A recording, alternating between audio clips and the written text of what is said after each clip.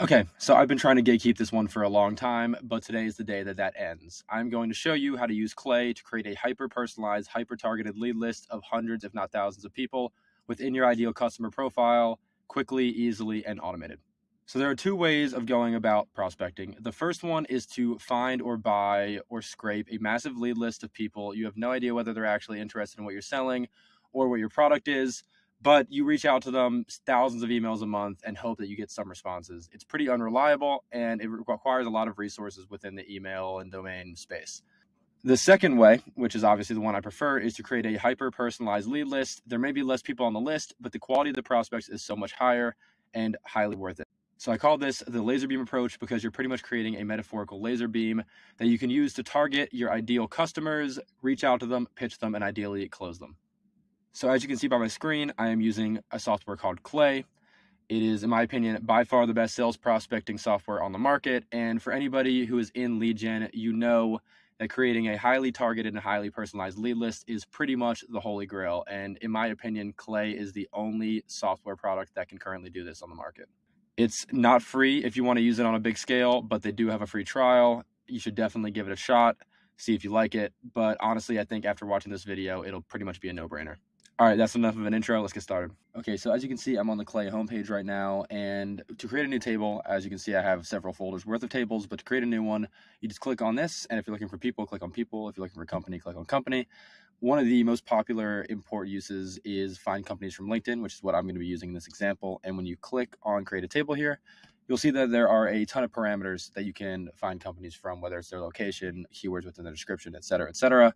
Um, I've already done this, so I'm just going to go straight to the table that I've created and break it down. All right, so I'm at the table right now. As you can see, I have about less than 300 companies that fit the ICP of the company that I was working with. Um, pretty much what they were looking for were companies that had between a certain range of employees and had an API, like a native company API. And so that's what we were looking for. Um, so what I did was I imported companies within the United States that had the word API within their company description.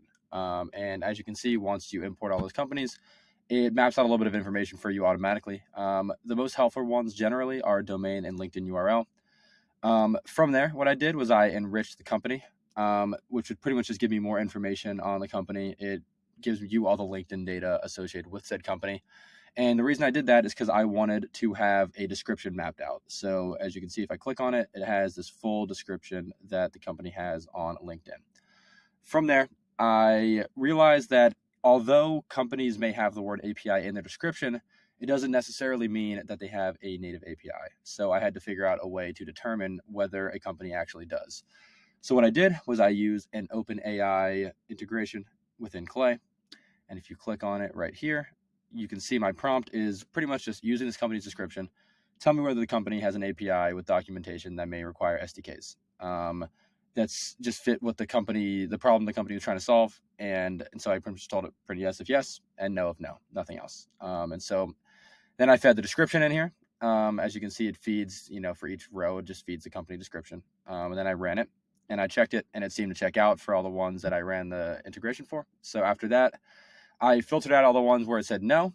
And then the next step was okay, so now that I've gotten a company that has an API, a native API, who do I contact to or reach out to with the highest likelihood of a yes or a response or a meeting booked? So, what I did was I uh, Clay has an integration called Find Contacts at Company.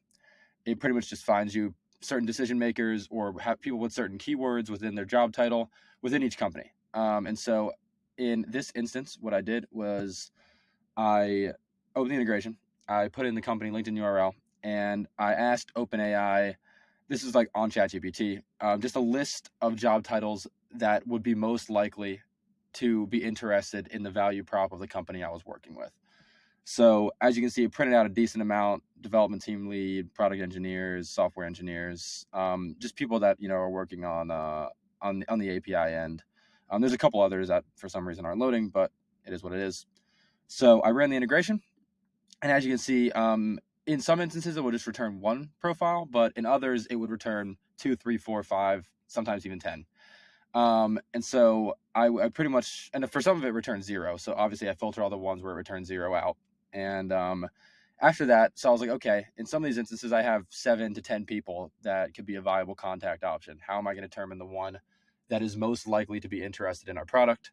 Um, of course, you could reach out to all of them, but it's going to use a lot more clay credits. It's going to use a lot more emails. In my opinion, it's just better to reach out to one person and use your email flow on them. So, what I did was I ran another ChatGPT integration. And in this instance, I have a prompt. Um, it's not showing the full prompt for some reason. However, I'll give it to you. It's pretty much what I said was here's a value prop of my company. Give me the person most likely to be interested in an email campaign from my company. And here's a list of people that you can choose from. And this is just based off of their name and their job title. My thought was the job title is going to be the most likely determining factor in whether this person is likely to respond. So we have just a list of names and titles that are all being fed from this integration right here, the find contacts at company. And we would just run that through. And um, and I told told him only print out the name and the title. So John Smith, Chief Product Officer. It just made it easier for formatting purposes, right? So um, it took a little bit of toying to get to this point, but for me, this specific prompt worked. So I went with that.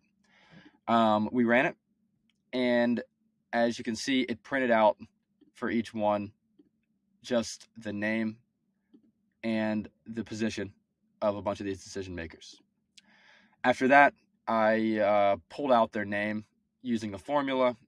Um, very simple, especially if you use the AI formula feature. I just pulled out their name.